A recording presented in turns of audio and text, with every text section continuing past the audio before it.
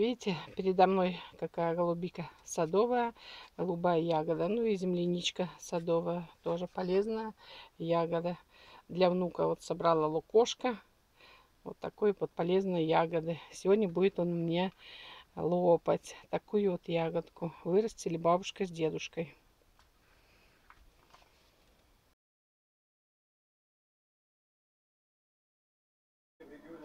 более понятная точки зрения экологии, это, конечно, тоже важнейший. Куст голубики приходится вот так прятать от птичек, потому что все съедают, склевывают. Поэтому вот такой способ.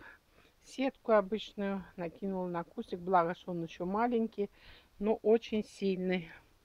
Полностью усеян ягодами. Вот они, ну, по мере они, он еще зеленых много. Так что вот так вот мы спрячем свои ягоды, голубики. Вот он усыпан кустик. Молоденький, а усыпан ягодами. Но не все сразу созревают.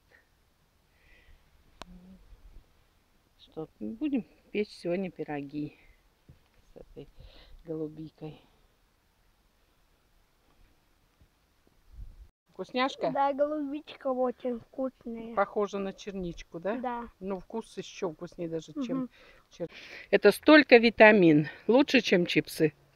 Мгм. Ну, так вот. Вот здесь вот я хочу показать вам голубику, где я прикопала отводками. Это, это уже у меня второй год. Вот видите, какой зелененький. Вот отдельный от куста. Принялся. Я считаю, что на этот год уже осенью можно его пересадить. Вот можно посмотреть даже как. Сейчас долезем до корневой системы.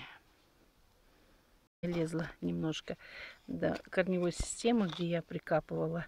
Там вот я уже наткнулась. Вот не буду дальше лезть. Там наткнулась у меня шпилька. Вот, вот она. Вот она шпилька. Вот, и вот она идет и уже дает. Вот здесь, не, не, может, камер не видно, уже даже корешочки дает. Так что вот она отводками неплохо. Вот на, у меня получается на второй год вот такой вот кустик отводками дал.